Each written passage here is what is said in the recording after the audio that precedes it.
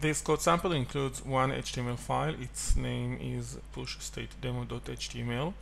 And the file includes code in JavaScript that invokes the pushState method on the history object. Doing so, we can actually change the URL address the user see in the web browser. Here in this code sample, we change it into blue.html uh, we also attach an object that describes this uh, new state as well as specifying the title of the web page.